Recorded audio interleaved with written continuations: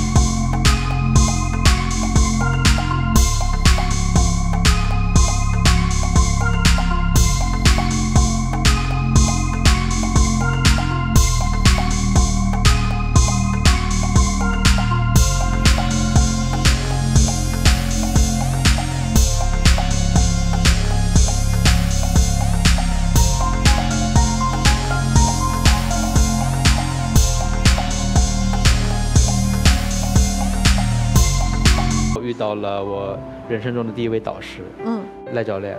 然后他，他是一名小儿麻痹症患者，然后跟我一样也是腿，然后是他教会了我怎么样一条腿去游。所以开始正式接触起了这个残疾人的运动，是吗？对。然后大学时候被选入了浙江省残疾人自行车队。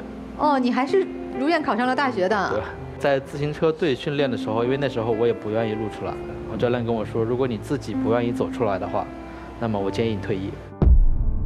那句退役给我打击特别大，自己给自己做了一周的思想斗争，嗯，然后那是我第一次真正的走出来，嗯，从那以后我是就接触到了身边很多很多跟我一样的残疾人，嗯，因为自己走不出来，所以把自己封闭起来，我想通过我自己的努力帮助他们一起走出来，嗯，我觉得我们可以一起拥抱这片美丽的天空，说的真好啊，啊，什么时候开始接触你刚才讲的极限运动了？我一二年接触的滑雪。嗯，是朋友带着我去滑的。嗯，然后那时候就感觉到，就每一样极限运动都会给你不一样的人生感悟。嗯，是很不错的。所以是从滑雪开始接触的，也成为了正式的滑雪运动员。一七年是中国中残联全国选拔运动员。嗯，现在是浙江省单板滑雪队队长。哎呀，好棒啊，队长！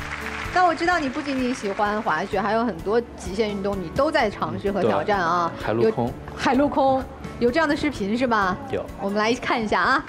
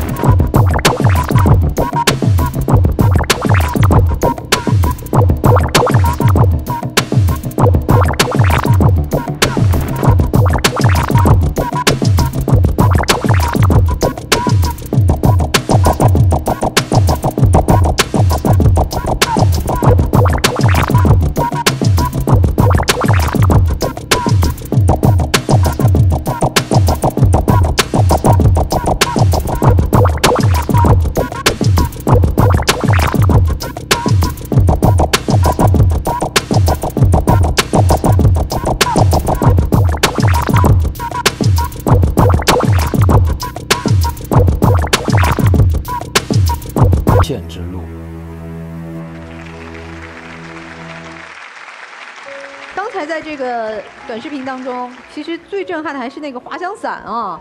然后我记印象很深的一次是，我穿着长裤磨破了，然后血从龟腰套里面溢出来，但是我自己不知道，你不疼吗？没感觉，已经麻木了。当时心里想的就飞起来的那个兴奋。所以受这个苦也值得了啊。那像你这样的呃，有一些残障的朋友多吗？不呃，不多我。是中国第一个飞的，残疾人里面第一个啊，我我飞之前不知道，飞完之后我的教练才跟我说，新涛你是第一个。那你他说你飞的时候，我都不敢跟你说话。在自己飞完了之后，带了两个和我一样的残疾人士一起去飞了。他们也学会了哈。，然后就特别的自豪。我刚特别想问你一个问题，就是到底是什么样的信念让你一直在去做运动这件事情？我其实特别好奇的是这一件事情。呃，给我的信念就是，我想，因为我代表的不是个人，是这么八九百万的这么一个群体，去做一件事情。去年和奥索公司一起组建了全国第一次残疾人滑雪训练营，哦，然后他们反响都很好。所以想把这种勇气带给更多的对，残带给更疾人朋友。多的人们，为了让更多的残疾人从内心走出来。大家都知道那个弥罗岛的维纳斯，如果他的胳膊在那里，那其实可能只是说我们在希腊大地上随随便的一个神像而已。恰恰是他因为有这个断臂，所以他才是经典和不朽的。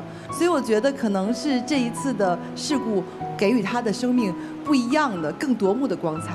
所以我都觉得是很感动的事情。说的真好啊！但是极限运动还是有危险的嘛，爸爸妈妈不会担心吗？很担心，很担心所以我？基本都不跟他们说。对，妈妈会唠叨是吗？我妈给我最大的反对就是我不给你一分钱，但你还是去了。你要能去你就去，但我还是去了所以。这钱拴不住人。这个爸妈也来了啊，是吧？这老母亲估计上场还得说你。那把爸妈请上来吧。好来，有请两位。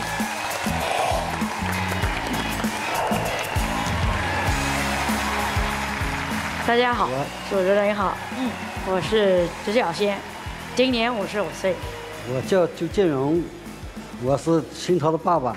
你爸爸那个激动的心情，你看都有点略微的在颤抖。嗯，很为儿子感到光荣骄傲哈。嗯，当时我也担心他这样自卑下去以后怎么办。今天能看到他这样，确实也他自己也很争气，嗯，那确实也很不容易给儿子鼓个掌吧。啊。这妈妈心心里还是有担心的哈。担心那您会跟他说吗？说你别去从事极限运动，就阻止过吗？阻止过。嗯刚开始我根本不知道，他不告诉我，都告诉他老爸，那他喜欢了我也没办法阻拦了，哎，那个他骨折了好几次，您知道吗？不知道，哦一次都不知道，他就住院，医院里，没回家。你就因为我说实际情知道我说了，爸妈会很担心，嗯然后觉得你没有必要会让他们担心，自己啊能照顾好自己。个人问题呢，个人问题先放一放。先放一放。哎，就妈妈看你呢，我希望早点成家。我妈妈一直在在在催啊催。啊！这我觉得新涛这么优秀，这么开朗阳光，应该有好多女孩喜欢吧？估计追的太多，然后看花了看花眼了。是这情况吗？这么优秀男孩子，滑雪界滑的好的，后面女孩子一大堆。其实还是自己觉得想要先去成就一番事业对，再去考虑个人问题。那这个遵循内心，我觉得不用着急，妈妈也放平心。她只要有她追求的爱好，充实的人生，其实早和晚，那她自己来决定。好吧，放宽心啊。对儿子有什么嘱咐吗？今天跟他说，我们这么多人看着呢，有人帮您说话。安全第一，尽量保护好自己。啊，他愿意就去做吧，他开心就好，他开心我也开心。哎呀，这好妈妈啊，好妈妈。有你老妈这句话，你更得注意安全。爸爸有什么跟儿子说的？我希望他在外面能够顺顺利利，家永远是你的港湾。你如果外面遇到什么，尽管回来，爸妈永远支持你的。家永远是你的港湾，爸妈永远支持你的。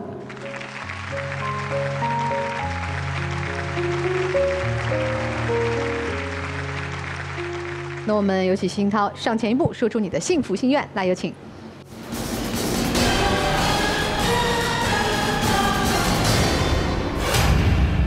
啊，我的心愿是做残疾人的滑雪和滑翔伞的训练营。好。啊，来讲讲你的这个心愿吧因为我。刚刚说了，我去年有和奥索公司举办了第一届全国残疾人滑雪训练营，嗯，就是希望我们一直这样持续办下去。关于您说的那个训练营，因为我们你也知道，我们做了很多 V Camp 训练营啊，就是我会协助你把这个训练营不是一期，啊、可能是一年，或者两年，或者三年，我们把这个训练营一直搞下去。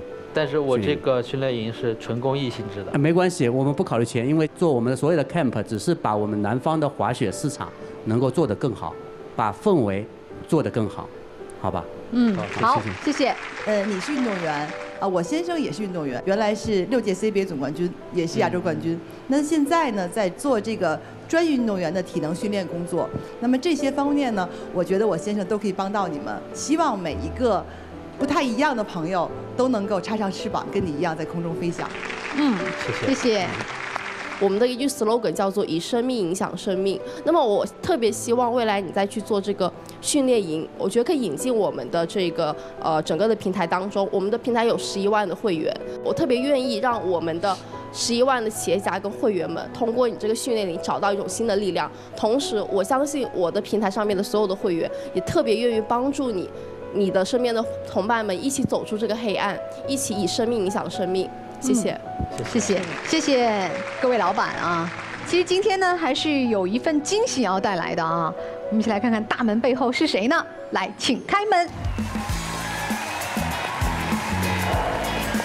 欢迎。大家好，啊、我是奥索公司中国区的工作人员张扬。